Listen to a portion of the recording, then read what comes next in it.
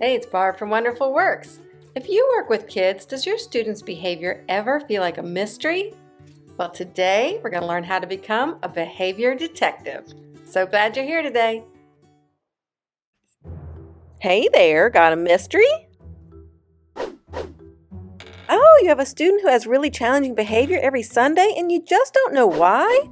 Hmm, sounds like you need a detective. Sometimes our students' behaviors are a mystery, and a lot of times that's a-okay. But if you have a student who's regularly engaging in challenging behavior that you just don't understand, then you may need to do a little detective work yourself. Today we're going to learn how to do just that, challenging behavior in the classroom, becoming a behavior detective. So becoming a behavior detective is actually pretty simple. There's just three easy steps. First, when a behavior happens, look for clues. Stop and ask yourself what was going on right before the behavior happened. Second, ask yourself some hard-hitting questions like these. What was the environment like when the behavior happened? Was it noisier, smellier, or more chaotic than usual? Was the student given a request that may have felt confusing, too challenging, or might have made them feel anxious in another way? When does this behavior usually happen? Is it when they first come in, during certain activities, or when switching from one activity to the next? Has the behavior happened before, and can you see a pattern for what may be triggering it? And finally, what is happening in the classroom when the student is behaving appropriately? How is it different? Then your third step is to look for the motive. In other words, ask yourself what need is the child trying to meet through this behavior. Once you get all that, you'll be ready to solve the case. Okay, want to see how this works? Great, let's open the case files.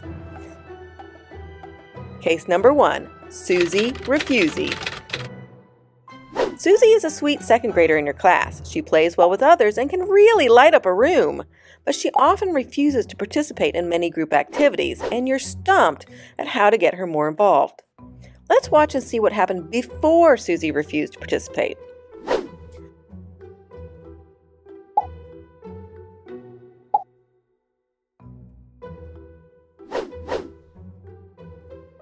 Now let's ask our questions.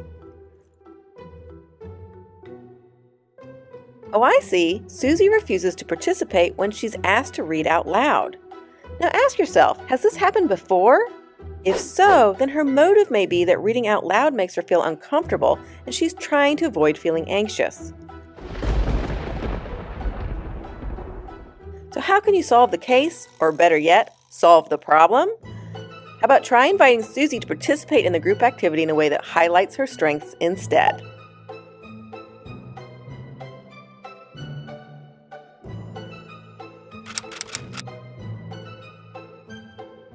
Case number two Runaway Clay.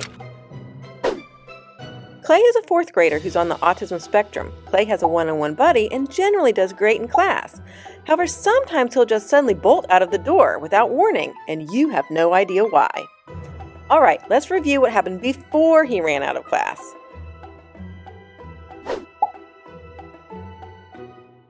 Now let's look at our questions. Oh, I see. The music is getting louder. Has this happened before? If so, then his motive for running out of class may be to get away from feeling overwhelmed. In order to solve the case, next time offer Clay noise canceling headphones or a break in a quiet area.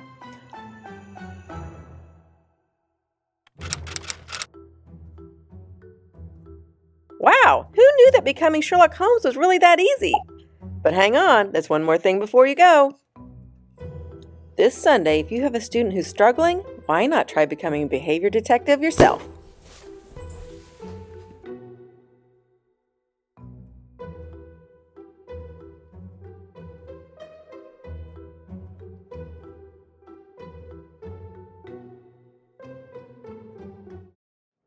So today we learned some good tips to try to figure out why a student is struggling. But the truth is, sometimes we just may never know. But what we do know is that when a child is acting out, it means that they are struggling on the inside. So no matter what, always approach with empathy. Thanks for being here. See you next time.